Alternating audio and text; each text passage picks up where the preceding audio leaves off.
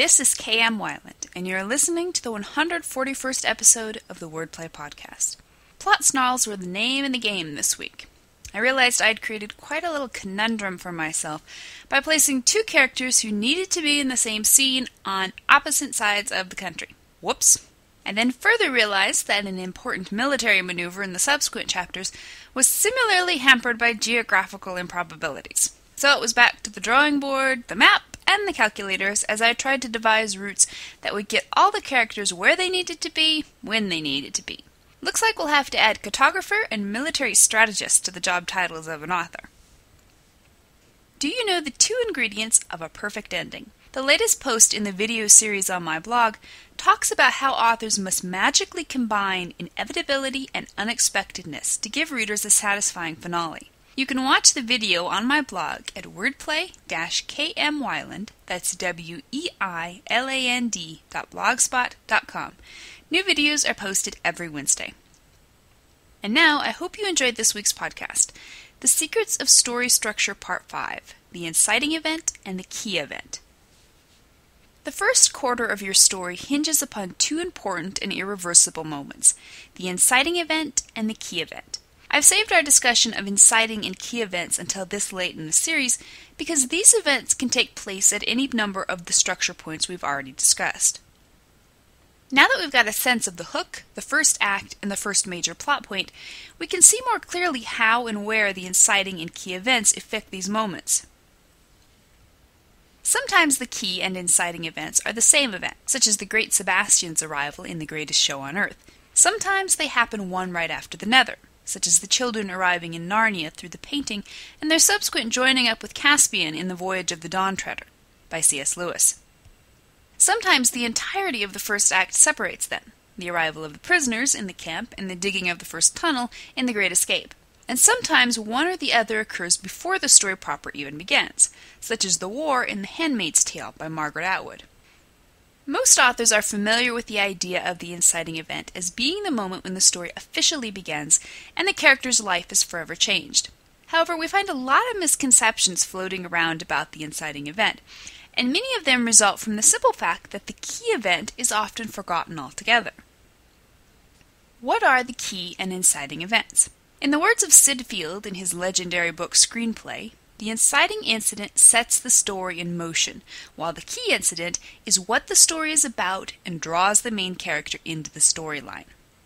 If we were to envision our story as a row of dominoes, the inciting event would be the first domino. When we tip over this particular domino, we set the whole line in motion. Generally, the inciting event isn't difficult to find. It's the moment that changes everything for the main character and puts him on the path he will tread for the rest of the story. No need to get too specific about this. Obviously, every event in life is connected to an event that preceded it.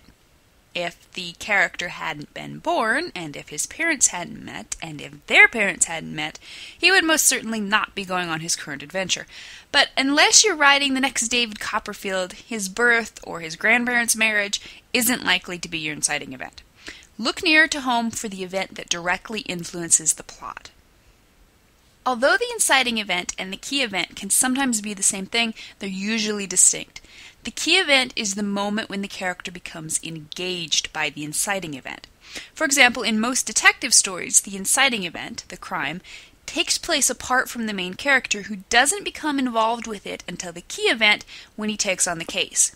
The key event is the glue that sticks the characters to the impetus of the inciting event. Where do the key and inciting events belong? Generally, we find two schools of thought on the proper location for the inciting event. Either it's supposed to be found in the hook in the first chapter, no exceptions, or it's supposed to be the first plot point at the 25% mark, no exceptions. I've ascribed to both these philosophies at one point or another in my career and now believe them both to be far too dogmatic. The hook and the first plot point belong at their given spots no matter where the inciting event ends up. Often, the inciting event is the hook. Often it's the first plot point, and often it's somewhere in between. What's important isn't so much nailing down your inciting event to a specific place in the story as it is presenting the inciting event at the optimal moment. Sometimes that means throwing the inciting event at the reader right away, and sometimes that means holding off to give them the biggest bang for their buck at the quarter mark. The key event takes place after the inciting event, since its job is to build upon the inciting event and make it impossible for the main character to turn away from it. The earlier in the story you place your inciting event, the more time you'll have to work in your key event. But if the inciting event doesn't occur until the latest point, which would be the first major plot point at the quarter mark, then the key event needs to occur promptly afterwards. Examples from film and literature. The best way to get a sense for the differences between the inciting event and the key event, as well as the proper placement of both in relation to each other, is to study them in the action in the works of the pros. So let's examine our chosen books and films. Pride and Prejudice by Jane Austen, first published in 1813. The arrival of the Bingleys and Darcy and Meryton is the inciting event that starts the chain of events moving irreversibly. But the main character, Lizzie, doesn't become involved with the inciting event until she meets and is rejected by Darcy at the Meryton Assembly dance. This is the key event. It's a Wonderful Life, directed by Frank Capra, first released in 1947. This classic movie uses the entirety of its first act to leisurely introduce and build its characters. Its inciting event doesn't occur until the first major plot point, when George's father dies of a stroke. This is the moment that forever changes George's life and sets the subsequent plot points in motion. But until George made the decision to take his father's place as executive secretary of the Bailey Brothers Building and Loan, he could have walked away at any point. His decision to stay in Bedford Falls constitutes the key event because it officially engages him in the plot. Ender's Game by Orson Scott Card, first published in 1977. The inciting event that starts the plot rolling in this science fiction classic is the invasion of the Formic aliens 80 years earlier. Without this invasion, Ender, as a third child, would never even have been allowed to have been born. This event takes place long before the beginning of the book and is discussed only in retrospect. The key event that draws Ender irrevocably into the battle is his brutally efficient response to the bully Stilson, which prompts Colonel Graff and the International Fleet Selective Service to requisition Ender as a battle school student. Master and Commander The Far Side of the World, directed by Peter Weir, first released in 2004. Again, here we find the inciting event taking place before the film opens.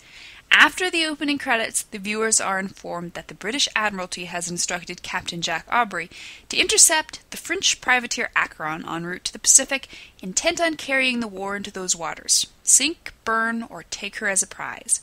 But not until the key event, when the Acheron attacks the HMS Surprise during the opening sequence, do the characters become inextricably entangled in the events of the plot.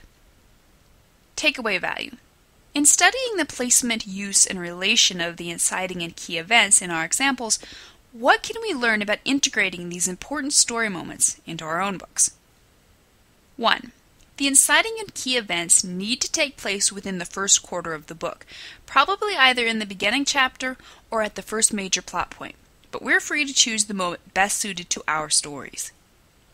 2. The inciting event sets the line of plot dominoes in motion.